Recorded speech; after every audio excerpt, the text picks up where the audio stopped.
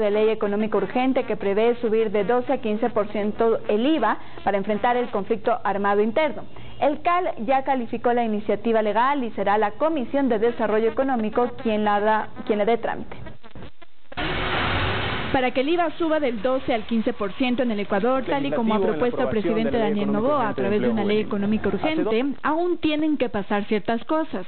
Reuniones, acuerdos y sobre todo una votación, pues es el Pleno de la Asamblea Nacional quien lo decidirá. Hasta el momento, el Consejo de Administración Legislativa ya calificó el proyecto. Sus vocales decidieron que la Comisión de Desarrollo Económico, presidida por la asambleísta oficialista Valentina Centeno, sea la encargada de tramitar y elaborar el informe que será debatido posteriormente en el Pleno.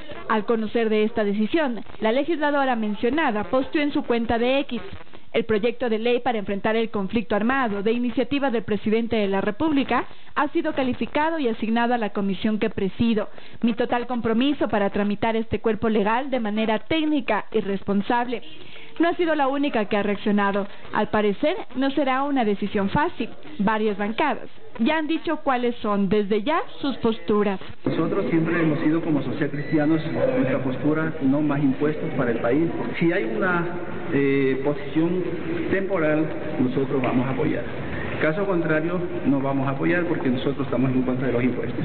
De que si es que se va a subir, porque el presidente ha pedido que se suba del 12% al 15%, que sea de manera temporal, que se maneje los recursos en una cuenta directa y que no se despilfarre como se lo ha hecho anteriormente en el 2016 con respecto a lo de, del terremoto, nunca llegó ese dinero a las familias.